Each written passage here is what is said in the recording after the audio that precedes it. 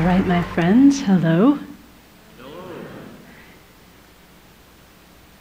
So, I want to start off with a few questions. And I know a lot of other presenters have already asked you questions, and they've been kind of hard questions. but the questions I'm going to ask you are very, very simple. And I promise you'll be able to answer these. All right, are you ready for your first one? Okay. Your first question is you don't have to answer out loud. Are you having a good day? Okay, you got your answer? All right. My second question for you is why? If you're having a good day, why are you having a good day? Or if you're having a bad day, why are you having a bad day?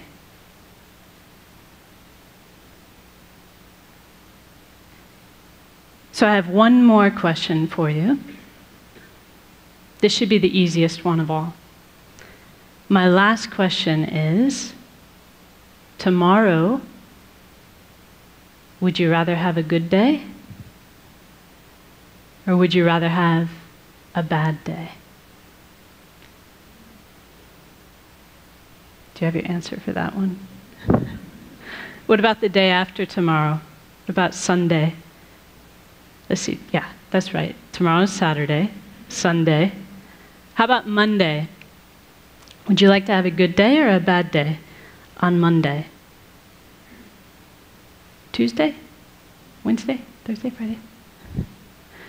This time next week? A good day or a bad day?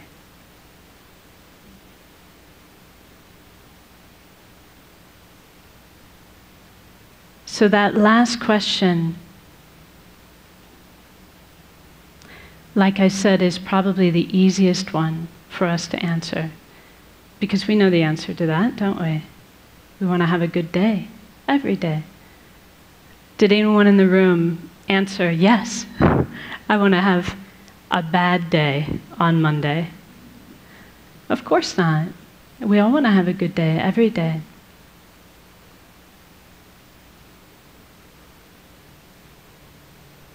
So, this is really speaking to the type of happiness that we all wish for in our heart of hearts. We have a good day when we are happy. And we want to be happy every day. There's never a day when we don't want to be happy. But whether or not we have good days or bad days really depends upon how we answered the second question. Do you remember the second question? What was the second question? Why? Why am I having a good day? Why am I having a bad day? So, one thing that my teacher says, his name is Geshe Kelsang Gyatso, and he says that much of the time our mind is like a balloon in the wind, blown here and there by external circumstances. Do you know that feeling? He says, when things are going well, when they're going our way, we feel happy. But then if something goes wrong, for example, he says if we're forced to work with a colleague that we dislike, but I'm sure none of you have colleagues you dislike, right?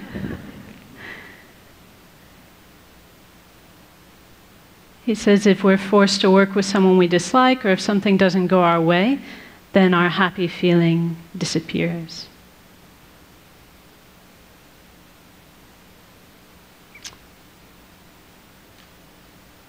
So, as long as our answer to the question, why am I having a good day or why am I having a bad day? Because, you know, this is a question people ask us, like maybe when you get home today. someone will go, Well, so how was that TED thing? Did you have a good day? And we'll say, Yeah, yeah, I did. There was this lady, and she talked to us about how we need to be about compassionate towards former inmates. And there was this performer who did this awesome beatboxing thing with his mouth, and you know, this person and that person. As long as our reasons for why we had a good day are a list of external conditions, then we're not going to have the stable happiness that we all want. Does that make sense to you? Because if that's what our happiness depends upon, because we cannot control people and circumstances every single day, then our happiness will be in the hands of others, won't it? It'll be at the whim of our circumstances. So, if you really wish to have a good day every day, we've got two things we need to do. So, the first thing that we need to do is we need to stop mm, outsourcing our happiness and outsourcing our unhappiness onto people and circumstances. In other words, we need to stop attributing our happiness to what's going on externally. And we need to stop blaming others, especially blaming others, for our unhappiness. So, for as long as we do that, as long as we're making it the job of people and circumstances to make us happy, or as long as we're making it their fault when we're unhappy, our happiness will be very unstable and elusive. Our second job is to actively cultivate a source of peace and a source of happiness coming from inside our own mind. So here's something I want you to commit to memory. Are you ready?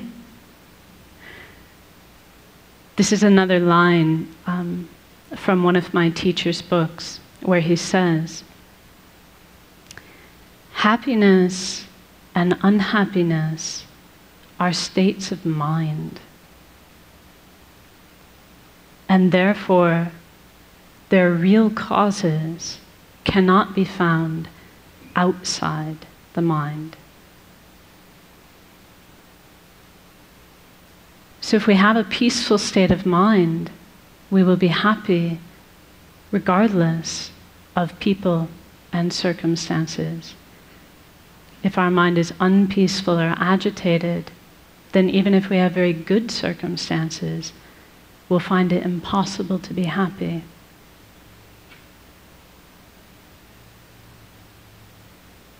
So, in other words,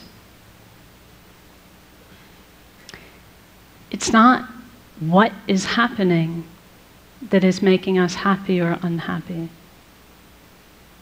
It is how we are responding to those things that determines whether we are happy or unhappy.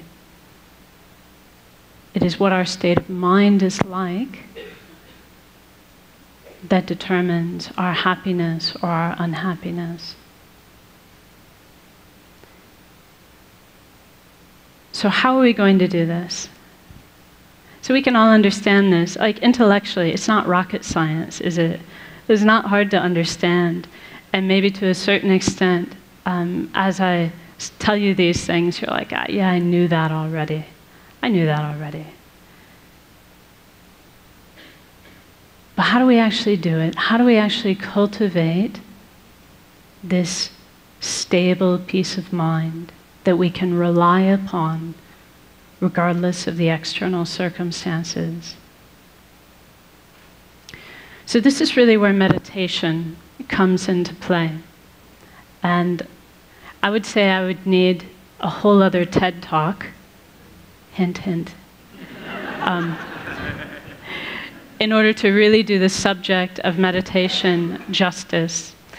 But for our purposes today, we can say that meditation is a mental action. It's the mental action of concentrating on a peaceful, positive state of mind. If we do that, we concentrate on a peaceful, positive state of mind, then we can say we're meditating. Whether that's like this, right? See, actually, you don't know if I'm meditating or not, because I could be thinking about my grocery list.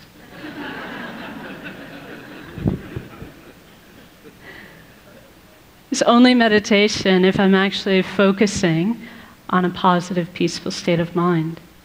But the trick is, I can do it like this. This is called formal meditation. But we can also learn to do this all the time in our daily life.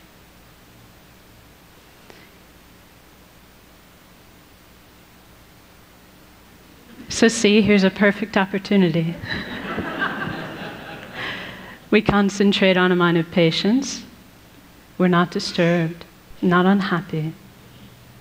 So, why don't we try it now? Are you up, to, up for it? Just a short meditation. According to the clock, I've got three minutes left.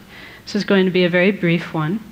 But let's actually try it. Let's try to tap into our own potential for a peaceful, positive, state of mind. So now I'll ask you just to sit comfortably and place your feet flat on the floor and your hands within your lap.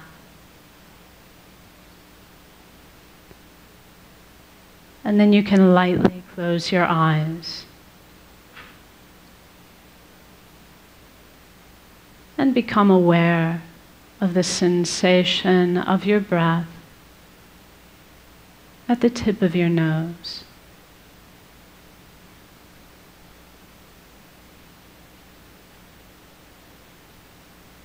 And as you breathe out, you can imagine you are breathing out any agitation any mental busyness, any frustration or unhappiness in your life. Breathing it all out like dark smoke.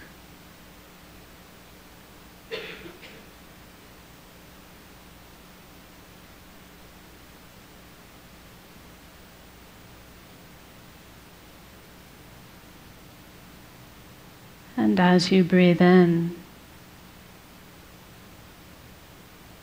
you can imagine and believe that you are breathing in a clear, bright light, which is the very nature of inner peace.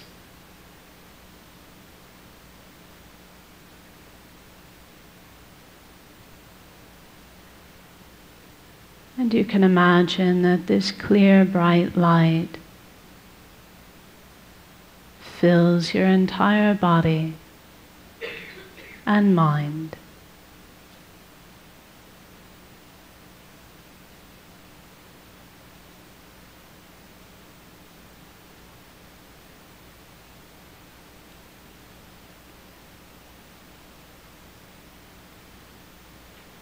And for a few seconds, simply enjoy this inner peace coming from within.